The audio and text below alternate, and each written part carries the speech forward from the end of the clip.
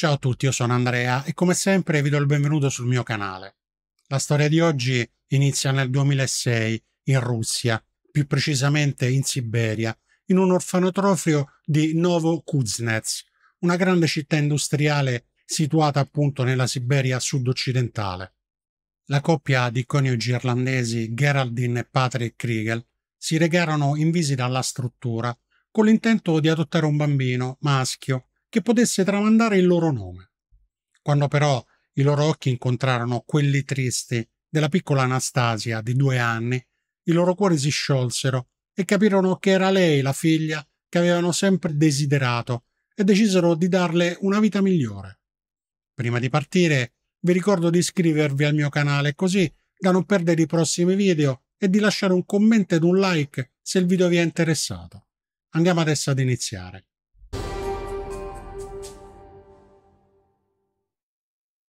Anastasia è nata il 18 maggio del 2004 e dopo la sua nascita sua madre biologica l'aveva consegnata ad un orfanotrofio.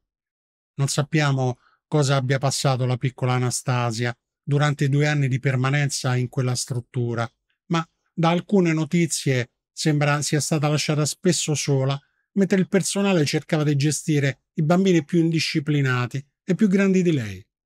Lei infatti era una bambina piccola e tranquilla, ma a causa del fatto che la maggior parte del tempo veniva lasciata sola in una culla, senza mai un segno d'affetto, aveva mostrato da subito una carenza nello sviluppo sociale ed emotivo. Geraldine e Patrick erano sposati da 20 anni ed erano un po' avanti negli anni rispetto alle persone che diventavano genitori per la prima volta, ma volevano un bambino con tutte le loro forze e si batterono per adottare la piccola Anastasia, che chiameremo più semplicemente Ana. Geraldine era senior manager dell'ufficio legale di un'azienda statale di trasporto pubblico. Suo marito Patrick era insegnante di francese in pensione presso il Dublin Institute of Technology. Il processo di adozione per i due fu molto lungo e sofferto, non solo per la loro età, ma perché le leggi sull'adozione in Russia sono molto rigide e soprattutto scoraggiano l'adozione da parte di stranieri perché preferiscono che i bambini vengano adottati nel paese in cui sono nati. Le agenzie d'adozione straniere devono attraversare perciò un lungo processo di accreditamento per ottenere le certificazioni dalla Russia e inoltre, una volta che un bambino diventa disponibile per l'adozione, ci vogliono anni per poterlo portare via, per non parlare poi delle tasse che devono pagare i genitori che si aggiungono alle spese di viaggio. Geraldine e Patrick non avevano comunicato, ancora a parenti ed amici, di aver iniziato le pratiche per l'adozione di una bambina russa, perché ancora non erano certi al 100% che la loro richiesta sarebbe stata accolta e, una volta appreso che il processo di adozione della bambina si era concluso positivamente, il 10 agosto del 2006 non aspettarono molto per dire a tutti che finalmente avevano una figlia. Per annunciare la buona notizia, i due neogenitori riunirono tutta la famiglia e gli amici e diedero loro una piccola matriosca, chiedendo loro di aprirla. L'ultima delle bamboline presenti al suo interno conteneva la foto della piccola Ana. Una settimana dopo, i due volarono in Russia e portarono con sé la bambina all'Exblip, una cittadina tranquilla di 35.000 abitanti nel nord-est della contea di Kildare, appena fuori Dublino. Anna sembrava destinata ad una vita piena di cose belle, ma il destino aveva in serbo un piano diverso per lei. Geraldine e Patrick erano due genitori amorevoli e totalmente innamorati della loro figlia. Festeggiavano ogni anno non solo il suo compleanno, il 18 febbraio, ma anche il 10 agosto, il giorno in cui era stata finalizzata la sua adozione. I due genitori fecero in modo che Anna mantenesse un forte legame con la cultura della sua terra natia. Patrick e Geraldine volevano che Anna avesse tutto ciò che desiderava. La portavano a pattinare sul ghiaccio, a mangiare nei ristoranti, a dipingere e passavano le vacanze estive con lei nella loro seconda casa in Francia. Crescendo, la bambina dovette affrontare diverse difficoltà, primo fra tutti la barriera linguistica e poi problemi relazionali e di apprendimento. Dal momento che, come abbiamo detto, non era stata stimolata in orfanotrofio a sviluppare questa abilità. I Kriegel però riuscirono ad aiutare la loro figlia e presto la bambina si ambientò perfettamente nella sua nuova casa. Anna era una bambina felice, ma dovette affrontare presto anche una serie di problemi di salute. Quando aveva solo tre anni, infatti, le fu diagnosticato un tumore all'orecchio destro, che aveva richiesto un'operazione di cinque ore e mezza per essere rimosso. Nonostante l'operazione fosse riuscita, la bambina riportò una lunga cicatrice sulla parte posteriore della testa e rimase quasi completamente sorda da quell'orecchio. Ana inoltre aveva problemi di vista e un'altra cicatrice sul mento che le era rimasta a seguito di una caduta. I suoi problemi di udito e di vista, uniti a problemi di memoria a breve termine, resero molto difficile alla bambina il percorso scolastico alla scuola elementare, che in Irlanda dura otto anni. Fino all'ottavo grado i suoi genitori si incontrarono spesso con il suo consulente di orientamento per cercare di metterla alla pari con gli altri studenti. Considerando tutto ciò che aveva passato, tutto sommato, il consulente era molto soddisfatto per i risultati raggiunti da Ana, anche se era un po' preoccupato che la bambina potesse avere qualche problema ad adattarsi nelle scuole superiori, soprattutto a causa della sua sensibilità ed ingenuità che la facevano sembrare molto più piccola mentalmente rispetto alle sue coetanee. Temeva che altri studenti ne avrebbero approfittato e lei sarebbe diventata un facile bersaglio per i bulli. Ana Nonostante i suoi problemi, era una ragazza allegra e rumorosa. Amava nuotare, ballare, cantare. Passava ore ad esercitarsi davanti allo specchio e aveva addirittura aperto un canale YouTube dove pubblicava tutto quello che le piaceva fare. Realizzava video su balli, vestiti e trucco per i suoi follower. Sebbene i video avessero attirato molti commenti piacevoli, alcune persone insoddisfatti della loro triste esistenza, cominciarono però a bullizzarla online, scrivendole commenti orribili. Qualcuno le aveva consigliato di suicidarsi e un'altra persona l'aveva addirittura minacciata di morte. Purtroppo di questi poveracci, frustrati dalla loro presa coscienza di essere completamente inutili al genere umano, li spinge a prendersela con una bambina di 13 anni o comunque agire nell'ombra dell'anonimato perché pensano che comunque non dovranno mai confrontarsi con l'oggetto del loro odio, perché sanno che altrimenti gli si rinnoverebbe in loro la consapevolezza della loro inutilità. Ana, infatti, a 13 anni era una bellissima ragazza che sicuramente suscitava invidia in brufolosi adolescenti, coscienti che fosse molto più bella di loro o che per loro sarebbe stata inarrivabile. Ana, come detto, all'epoca aveva solamente 13 anni, quindi comunque una bambina con le sue fragilità e paure. Rimase molto colpita dai commenti negativi, tanto da confidarsi con sua madre su quello che stava succedendo. Geraldine, preoccupata, ritenne fosse meglio non privare la ragazzina dei suoi social media, ma decise di monitorarle. Per questo si fece dare da Ana tutte le sue password in modo da poter vedere cosa stava succedendo nella sua vita e proteggerla per quanto le fosse stato possibile. Geraldine rimase scioccata da alcuni commenti ai video di Ana. Non sapeva cosa fare, non sapeva chi fossero quelle persone. I genitori di Ana chiesero un incontro con la sua nuova insegnante e il preside del liceo che la ragazza avrebbe iniziato a frequentare di lì a breve, per esprimere le loro preoccupazioni, ma ovviamente loro non potevano fare nulla, non potevano identificare le persone che commentavano i video di Ana. Purtroppo tra i ragazzi della cittadina si sparse la voce che i genitori erano preoccupati per lei e riuscirono a trovare tutti i suoi profili social.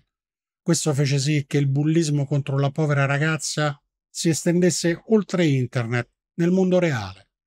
I bulli non aspettarono neanche che iniziasse la scuola per cominciare la loro azione persecutoria Durante l'estate, infatti, Ana divenne vittima di bullismo online da parte di studenti del terzo anno, che cominciarono ad inviarle messaggi sessualmente allusivi e offese di ogni genere. Gran parte del bullismo riguardava la sua altezza. Infatti la ragazza era una tipica donna siberiana, occhi azzurri, molto alta. Quando aveva 13 anni era alta 178 centimetri e sembrava fisicamente molto più grande dei suoi anni. Quando entrò nell'adolescenza soffrì di una patologia molto dolorosa che si presenta a volte negli adolescenti e si verifica quando le ossa crescono più velocemente dei muscoli. I bulli inoltre la prendevano in giro per il fatto che era stata adottata, dicendo che aveva una mamma ed un papà finti. Un giorno, il pomeriggio di Halloween del 2017, era tornata a casa isterica e terrorizzata. Stava tornando a casa dopo aver badato a dei bambini durante una festa in maschera, quando quattro ragazzi si erano avvicinati a lei, le avevano toccato il sedere e uno di loro le aveva chiesto ripetutamente davanti a tutti di fare sesso con lui. Ana sembrava una donna, ma era una bambina. I genitori di Ana avevano denunciato l'episodio, ma il ragazzo aveva ricevuto soltanto un'ammonizione. Da quel momento i genitori iniziarono ad accompagnarla a scuola ogni giorno, cosa che non fece altro che aumentare il bullismo contro di lei. Ana veniva sempre più emarginata. All'uscita di scuola indossava le sue cuffiette blu e camminava fino a casa quasi sempre da sola, ascoltando musica, con gli occhi bassi. Era delusa, soffriva molto per non riuscire ad essere accettata e non riuscire a far parte di un gruppo di amici. Se si escludono i suoi cugini, Sab e Art, infatti, non aveva molti amici con i quali passare il tempo. Amava stare a casa con la sua famiglia, ma desiderava anche poter avere qualcuno della sua età con cui poter uscire. Ad un certo punto iniziò anche a comportarsi in modo preoccupante. Rimase coinvolta in una rissa a scuola che le procurò una sospensione e un giorno si truccò un occhio di nero prima di andare a scuola per far credere di essere stata picchiata. Tutto questo per attirare l'attenzione perché, come dirà suo padre, si sentiva invisibile.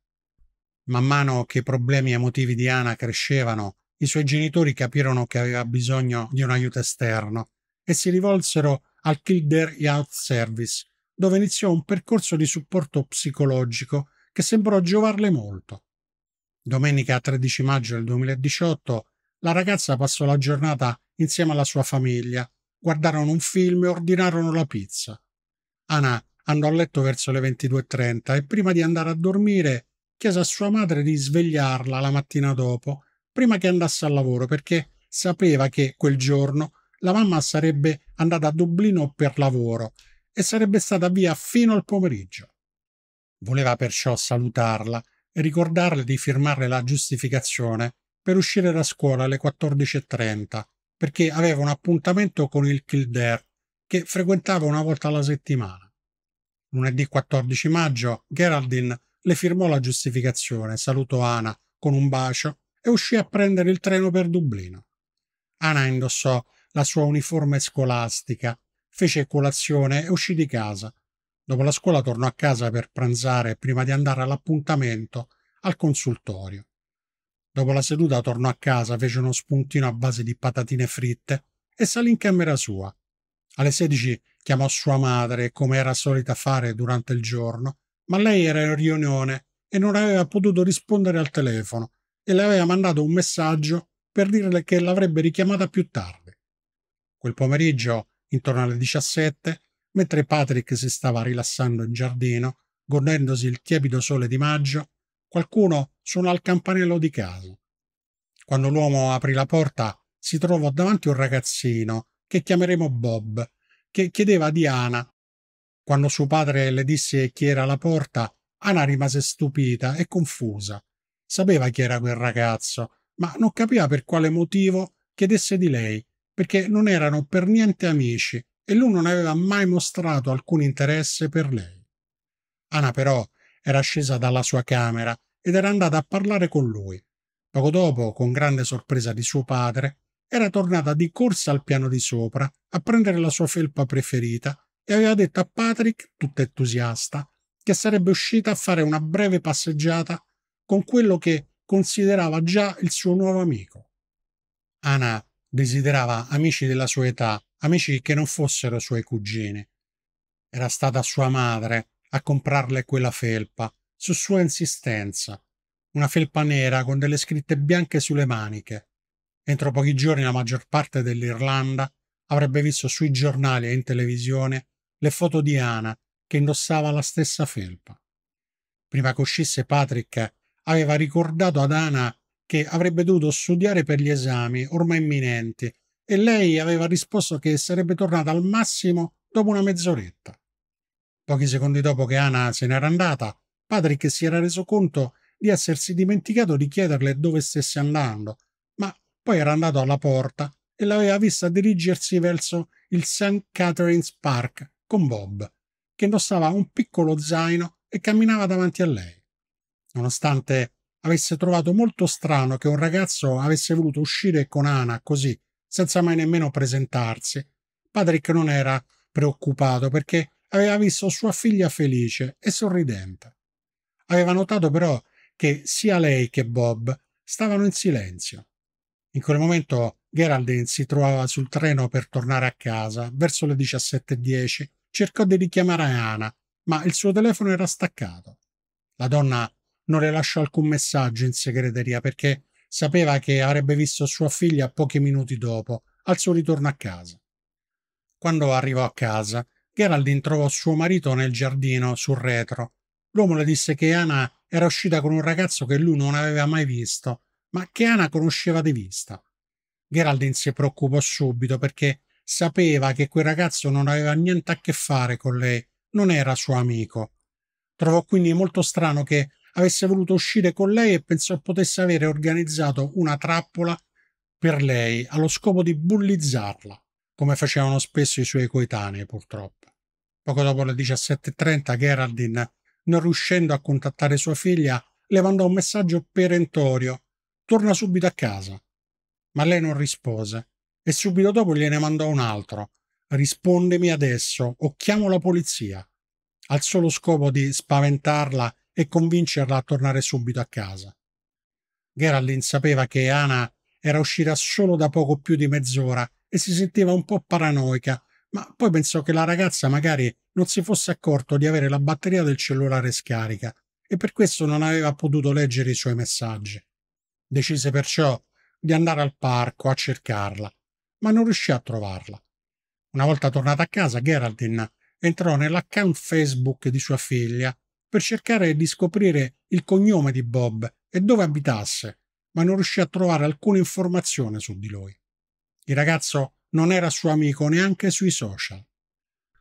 Dopo quattro ore, Geraldine e Patrick andarono a casa di John Cribbin, un loro amico detective in pensione, che consigliò loro di rivolgersi immediatamente alla polizia. I genitori, disperati, seguirono il consiglio ed andarono alla stazione di Lexlip, dove Geraldine spiegò ai poliziotti che era molto strano che Anna non si mettesse in contatto con lei per così tanto tempo e che rispondeva sempre al telefono quando lei la chiamava ed era sicura che, se avesse potuto, l'avrebbe richiamata subito. La polizia prese sul serio la segnalazione dei due genitori disperati, ma non attivò immediatamente le ricerche perché riceveva ogni settimana decine di segnalazioni di bambini scomparsi e sapeva per esperienza che la stragrande maggioranza degli allontanamenti era volontaria e si concludeva in poche ore col ritorno del fuggitivo. La settimana prima della sparizione di Ana, per esempio, erano scomparsi tre ragazzi adolescenti che erano stati trovati sani e salvi poche ore dopo.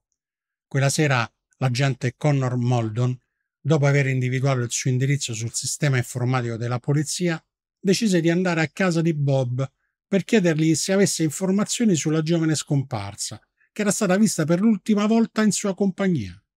Il ragazzo confermò di essere andato a casa di Ana quel giorno per chiederle di uscire con lui ed un altro suo amico e disse che avevano passeggiato insieme nel parco per circa mezz'ora, ma che poi l'aveva lasciata lì intorno alle 17.40. Questa si rivelò una delle numerose bugie che avrebbe raccontato agli investigatori. Il giorno dopo la famiglia di Ana si alzò presto per riprendere le sue ricerche. Percorse in lungo e in largo la zona intorno alla casa e intorno al parco e parlò con chiunque potesse avere visto la loro bambina. Ormai anche i poliziotti erano preoccupati e finalmente iniziarono seriamente le ricerche della ragazza. Il sergente Jandon fu incaricato di tornare a casa di Bob per interrogarlo più approfonditamente. Questa volta Bob disse alla polizia di aver chiesto ad Anna di uscire il giorno prima, ma per conto del suo amico timido che chiameremo d'ora in poi Alex, che aveva bisogno di parlare con lei perché era venuta a conoscenza che Anna aveva una cotta per lui e voleva spiegarle che lui invece non era interessato a lei. Disse di aver portato Anna al parco, di averla lasciata con Alex e di essere tornato a casa sua per fare i compiti. Il detective allora portò Bob al parco per farsi mostrare dove fosse passato con Anna e il punto esatto in cui Anna si era incontrata con Alex. La polizia contrassegnò tutte le posizioni indicate da Bob, utilizzando la funzione GPS sui loro dispositivi, e riaccompagnarono il ragazzo a casa. Nel tardo pomeriggio di martedì 15 maggio, essendo ormai passato un giorno intero dalla scomparsa della ragazza, la polizia attivò la procedura prevista in questi casi e chiesero la collaborazione dei media. I genitori di Anna fornirono alcune fotografie della loro figlia, inclusa quella in cui lei indossava la stessa felpa col cappuccio che indossava quando era uscita di casa la sera della scomparsa. Dopo la diffusione della notizia, come succede spesso in casi di scomparsa, iniziarono ad arrivare le segnalazioni più disparate, che la polizia era costretta comunque a seguire, ma che non portarono a nulla. Il detective Don e i suoi colleghi continuarono allora a setacciare l'area intorno al parco e si decise di perlustrare anche la linea ferroviaria, ma neanche là si trovò alcuna traccia di Ana. Mentre Dunn tornava indietro sconsolato verso la stazione di polizia, fu fermato da un uomo e da suo figlio. L'uomo aveva sentito la notizia della scomparsa di Ana e aveva deciso di suggerire alla polizia di controllare anche il retro dell'impianto di trattamento delle acque reflue locale, dato che gli adolescenti erano soliti frequentare quella zona. Solo più tardi quel giorno il detective scoprì che quell'uomo era il padre di Alex e l'adolescente insieme a lui era proprio lui, Alex. Dal momento che presumibilmente Bob e Alex erano stati gli ultimi ad aver visto Anna prima che sparisse nel nulla, entrambi vennero interrogati. Qualsiasi informazione avessero potuto fornire sarebbe stata di vitale importanza per il ritrovamento della ragazzina. Ovviamente in quel momento i poliziotti non avevano alcun motivo di pensare che avessero fatto del male ad Ana. Martedì pomeriggio la polizia decise di portare di nuovo Bob al parco, questa volta insieme ad Alex, accompagnato da suo padre. Mentre camminavano, il detective notò che Bob li stava guidando su un percorso diverso da quello che aveva mostrato loro in precedenza. I due ragazzi si fermarono su un sentiero vicino alla pista di ciclismo acrobatico, le BMX, presente all'interno del parco. I detective Dunn e Hussey li videro scambiarsi una specie di sguardo d'intesa e interpretarono il gesto come un indizio che loro non stessero raccontando proprio tutta la verità, ma si fossero messi d'accordo sulla versione da fornire. Decisero perciò di raccogliere le loro dichiarazioni in modo formale, ma soprattutto separatamente. La posizione dei ragazzi si stava lentamente trasformando da semplici testimoni a sospetti. Entrambi i ragazzi furono portati alla stazione di polizia insieme ai loro genitori. Bob raccontò ai poliziotti la stessa storia che aveva raccontato in precedenza. Non aveva idea di cosa fosse successo ad Ana e aggiunse che la prima volta che aveva saputo che Ana era sparita era stato quando i poliziotti avevano bussato alla sua porta la sera prima. Alex rilasciò una dichiarazione dettagliata sui suoi movimenti. Disse che Bob era uno dei suoi migliori amici e che l'aveva chiamato a casa dopo la scuola per dargli appuntamento al parco. Quando Bob era arrivato lì, con sua sorpresa, aveva visto che l'amico era in compagnia di Ana, una ragazza che conosceva a malapena per averla intravista a scuola. Disse che Ana ad un certo punto gli aveva chiesto se voleva uscire con lei. Lui era rimasto molto perplesso perché, anche se sospettava di piacerle, non si aspettava una tale richiesta. Lui le aveva gentilmente detto di non essere interessato a lei, così lei se n'era andata delusa e triste.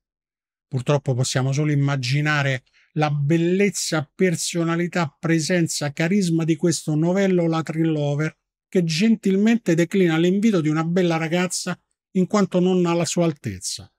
Possiamo solo immaginarlo perché, per le assurde leggi che tutelano i carnefici invece delle vittime, la sua identità è stata nascosta e protetta. A quel punto anche Bob era andato via e lui si era diretto verso casa, quando improvvisamente era stato attaccato da due uomini sconosciuti apparsi dal nulla. Uno di loro lo aveva afferrato per una spalla e lo aveva buttato a terra.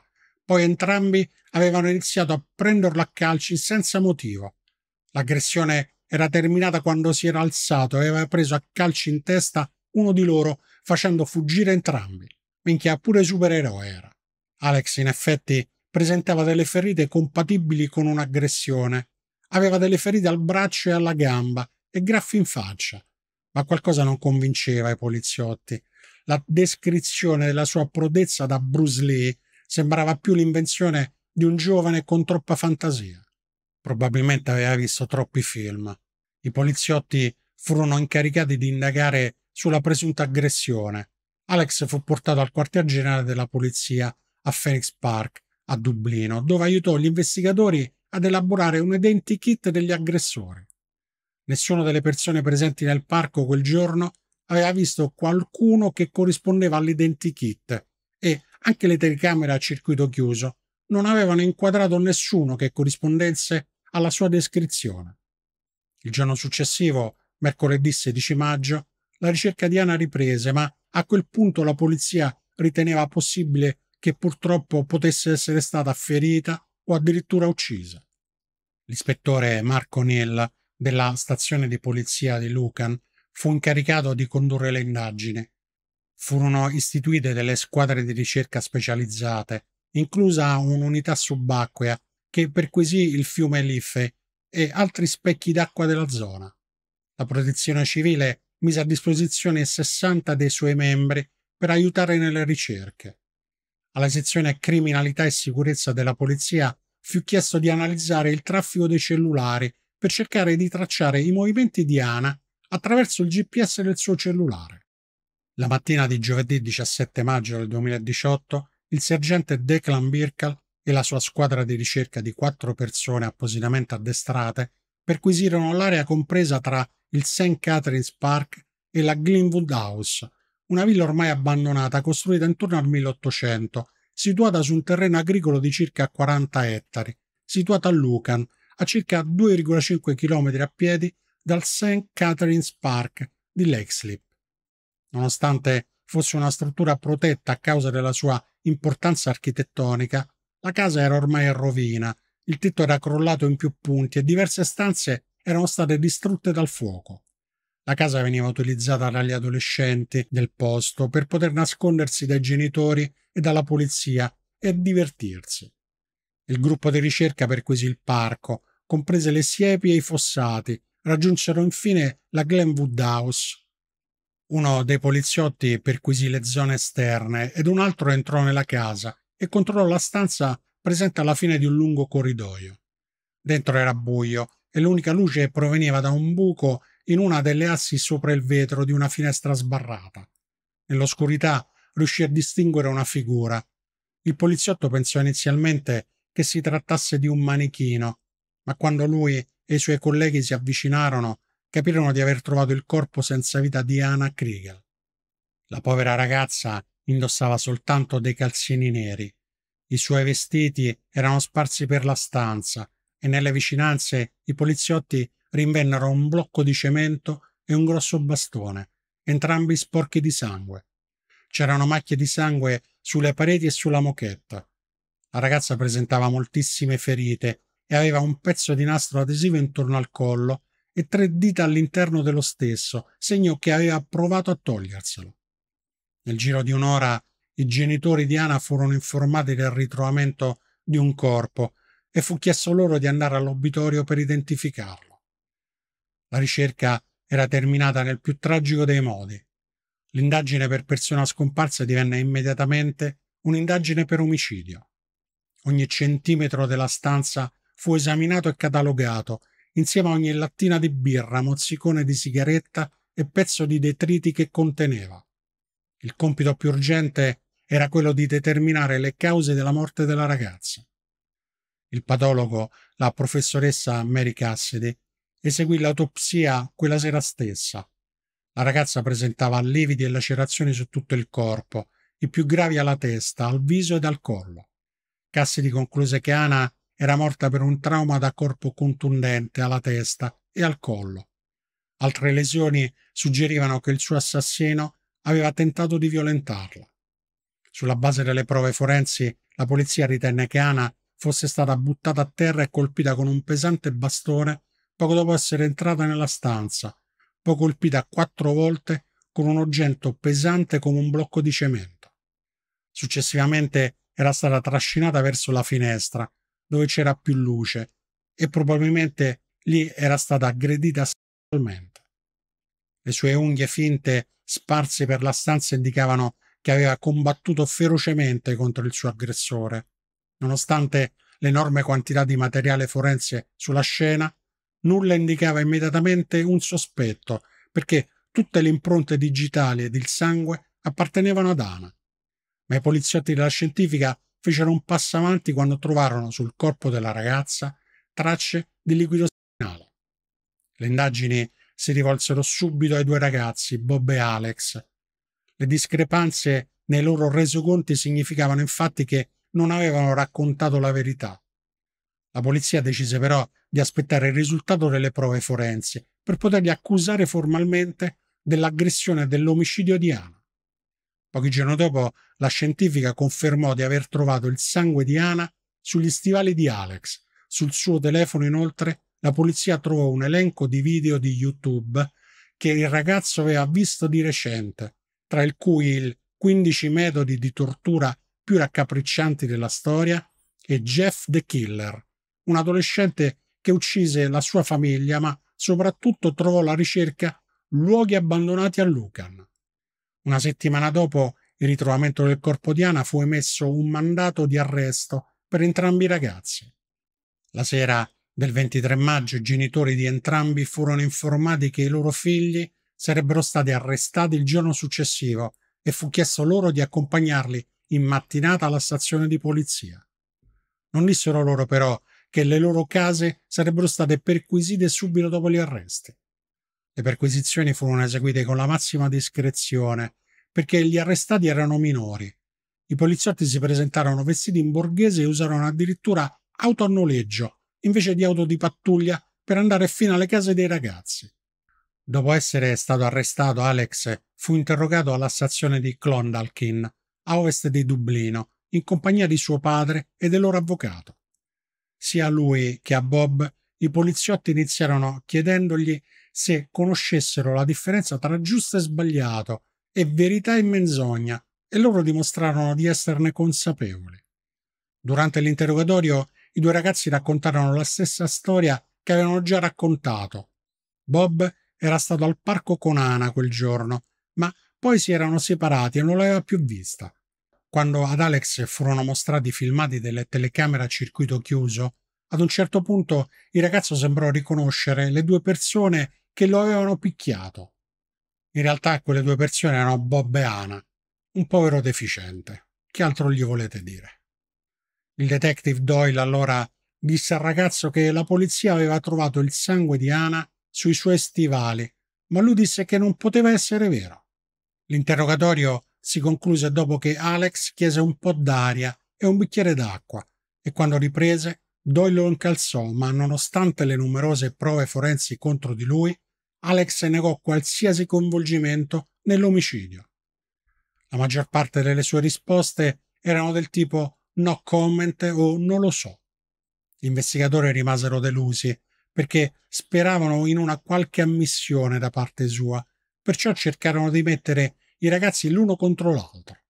Forse Alex avrebbe parlato se si fosse reso conto che la colpa dell'omicidio stava per essere data solo a lui. A nove chilometri di distanza, infatti, l'interrogatorio di Bob stava andando molto meglio per la polizia. Dopo aver finalmente ammesso di aver sentito Ana urlare, il ragazzo pian piano cominciò a fare anche altre ammissioni.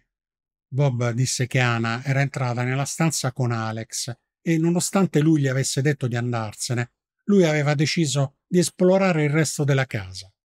Poi aveva sentito il rumore di lotta provenire dalla stanza, era corso a controllare e aveva visto Alex buttare a terra Ana e iniziare a soffocarla e a toglierle i vestiti, mentre lei lo implorava di lasciarla andare.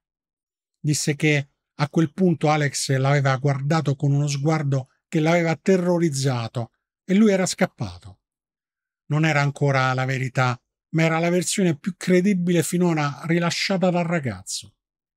Nel loro nuovo interrogatorio i detective lessero ad Alex le dichiarazioni che aveva rilasciato Bob e lo accusarono ufficialmente dell'omicidio di Anna. Un'ora dopo fu portato con un furgone della polizia in compagnia dei suoi genitori al Chandler Car Smithfield vicino a Dublino per la sua prima apparizione in tribunale. L'arresto dei ragazzi non fu reso pubblico fino a poco prima che Alex arrivasse in tribunale. Di solito i bambini che passavano per quel tribunale dei minori erano accusati di crimini minori come possesso di droga o furto e di solito si dichiaravano subito colpevoli e un giudice poteva infliggere loro una pena massima di 12 mesi. La legislazione irlandese imponeva ai giudici del tribunale minorile di trasferire i casi di omicidio e stupro al Tribunale Penale Centrale, dove i bambini accusati di tali crimini venivano processati come adulti. L'età legale della responsabilità penale in Irlanda è di 12 anni, ma scende a 10 quando si presume stupro o omicidio. A 13 anni Alex e Bob divennero i più giovani accusati di omicidio nella storia dello Stato. 15 minuti dopo l'arrivo del furgone della polizia a Smithfield, Alex comparve in aula con i suoi genitori. Nella stanza c'erano anche due avvocati, due detective, tre giornalisti e il giudice, John O'Connor, che disse alla madre del ragazzo che poteva sedersi accanto a lui. In quella fase iniziale del processo la priorità per la famiglia del ragazzo era ottenere la sua libertà su cauzione. Ma in qualità di giudice minorile O'Connor non aveva il potere di concedere la libertà su cauzione nei casi di omicidio. Il ragazzo perciò avrebbe dovuto rivolgersi in un secondo momento all'alta corte. Alex così fu portato al carcere minorile. Intanto le prove contro di lui si accumulavano. La polizia trovò nella sua cameretta uno zaino contenente guanti, ginocchiere, parastinchi, una sciarpa e una maschera fatta a mano a forma di teschio che copriva solo la metà superiore del viso, con dei denti aguzzi dipinti di rosso. All'interno e all'esterno della maschera e anche su ginocchiere, guanti e zaino fu ritrovato il sangue di Ana. I guanti erano particolarmente importanti perché spiegavano perché non erano state trovate le impronte digitali sulla scena del crimine. L'esame su due telefoni trovati nella camera da letto del ragazzo, inoltre, rivelò la presenza di quasi 12.500 immagini pornografiche. La memoria inoltre conservava diversi video dello stesso tenore, anche particolarmente truci, e di tenore pedo avete capito che cosa. La polizia trovò anche dei testimoni contro di lui. Un dog sitter disse di aver visto un ragazzo che corrispondeva alla sua descrizione dirigersi verso la casa abbandonata il 14 maggio e un compagno di scuola testimoniò che Alex sembrava agitato e irrequieto nei giorni successivi alla scomparsa di Ana. Quando poi l'analisi del liquido seminale ritrovato sul corpo di Ana dimostrò che corrispondeva al DNA del ragazzo, la polizia poté accusarlo di violenza aggravata. Le nuove prove permisero loro anche di sottoporre Bob ad ulteriori interrogatori per chiarire la sua posizione. Bob fu arrestato l'8 luglio e portato alla stazione di polizia di Lucan. Dopo l'ennesimo interrogatorio, questa volta Bob rivelò che Alex, quando aveva attaccato Ana, indossava una maschera da zombie o da teschio e la descrisse come una maschera davvero fantastica, che Alex aveva realizzato con le sue mani.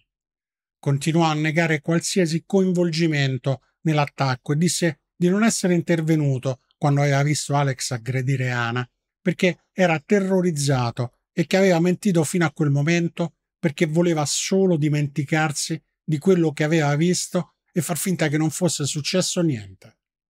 Gli investigatori sospettavano che Bob stesse ancora mentendo, ma in mancanza di prove certe della sua colpevolezza furono costretti a rilasciarlo. Quattro giorni dopo fu arrestato di nuovo e accusato dell'omicidio di Anna. Come il suo computato avrebbe dovuto chiedere la libertà su cauzione all'alta corte.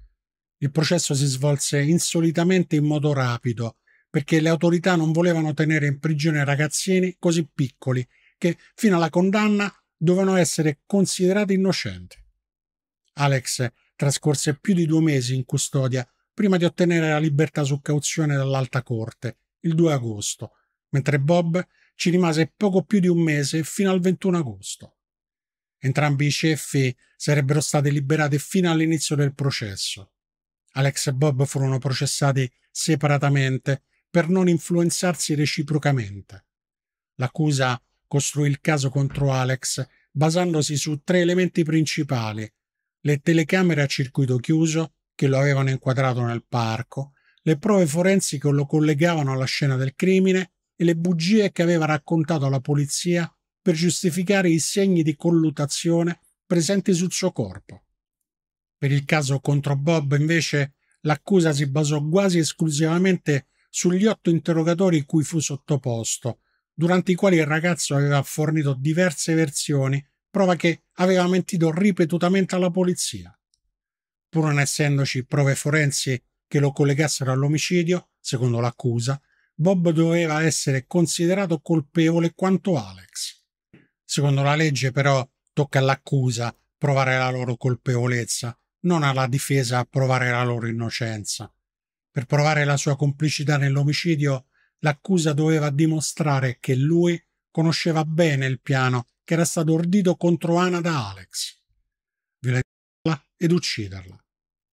L'avvocato di Bob cercò di sostenere la sua innocenza dicendo che se fosse stata a conoscenza del piano non sarebbe stato così stupido da andare a prendere Ana a casa sua ed accompagnarla in un parco pieno di telecamere a circuito chiuso. E su questo questa volta posso dare ragione all'avvocato, anche se sull'intelligenza di Bob la mano sul fuoco non ce la metto. La difesa cercò anche di fare credere che Alex e Anna avessero avuto un rapporto consensuale. La Glenwood House, infatti, veniva utilizzata dai giovani per appuntamenti romantici. Le analisi del patologo invece dimostrarono che Anna aveva avuto delle lesioni compatibili con una violenza. Alex fu dichiarato colpevole dell'omicidio e dell'aggressione sessuale aggravata di Anastasia Kriegel, mentre Bob fu dichiarato colpevole solo del suo omicidio. L'aula rimase in silenzio per circa 30 secondi. Geraldine Kriegel rimase ferma, ad occhi chiusi, mentre veniva letto il verdetto. Lei e Patrick rimasero calmi, si alzarono e fecero un cenno di ringraziamento ai giurati mentre lasciavano la stanza. All'uscita dell'aula poi abbracciarono i loro amici ed alcuni poliziotti. Il giudice McDermott ringraziò i giurati e li esortò a non violare la legge rivelando i nomi degli imputati bambini. La sentenza fu poi emessa il 17 novembre del 2019. Alex fu condannato all'ergastolo con un periodo di revisione dopo 12 anni e a 12 anni per violenza sessuale aggravata.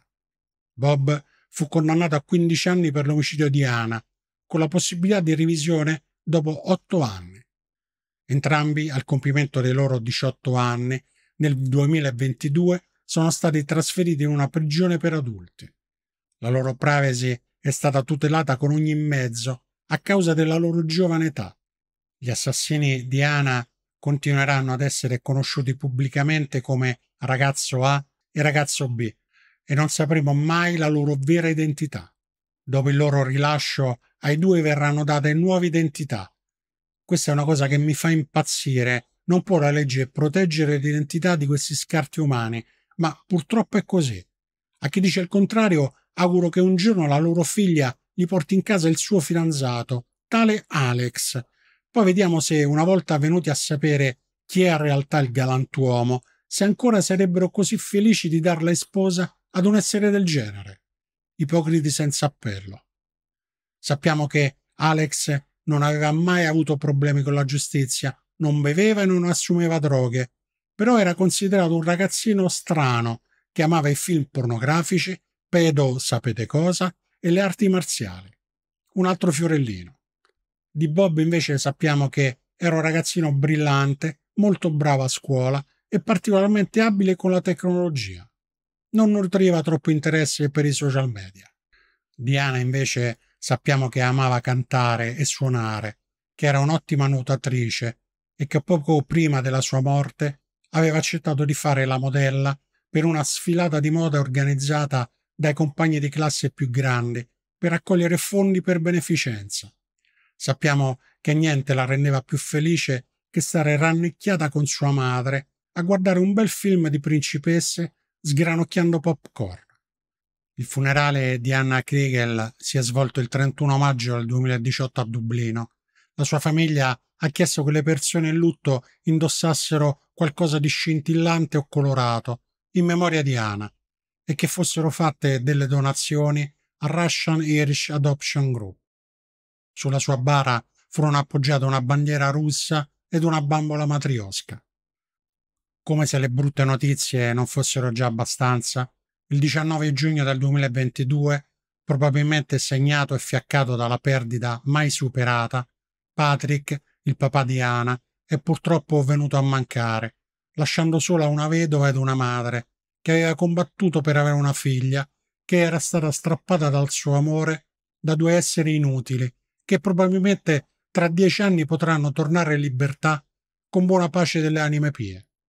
Persone del genere dovrebbero passare la loro vita sotto controllo, magari non dietro alle sbarre, cosa comunque auspicabile, ma vista la giovane età possiamo dargli un attenuante, ma comunque sotto controllo per il resto della loro vita. Non puoi redimerti da un atto del genere. Sempre personalissima idea, sia chiaro. A 13 anni hai avuto il coraggio di portare una ragazzina in un luogo isolato per abusare di lei e vista la sua resistenza l'hai immobilizzata, imbavagliata con del nastro adesivo, stupida, uccisa. E non è detto in quest'ordine. Ma tu giri normalmente con maschere e nastro adesivo in tasca. Ah, ma allora lo hai anche premeditato. Ma di che parliamo? Di redenzione? Ma per piacere. Ma tu hai problemi insanabili. Io, a 13 anni, ero così pirla che se mi sorrideva una bella ragazza come Ana, mi buttavo a terra e mi fingevo morto per la vergogna. Per oggi ci fermiamo qui. Vi ricordo che like ed iscrizione e commenti sono gratuiti per voi, ma utilissimi nel mio canale.